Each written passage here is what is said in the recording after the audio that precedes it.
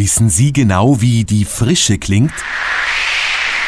Ja, schon gar nicht schlecht. Oder so?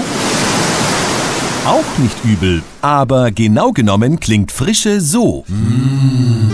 Ja, richtig gehört. So klingt es nämlich, wenn Sie in ein Brötchen mit lecker frischem Buko Frischkäse beißen.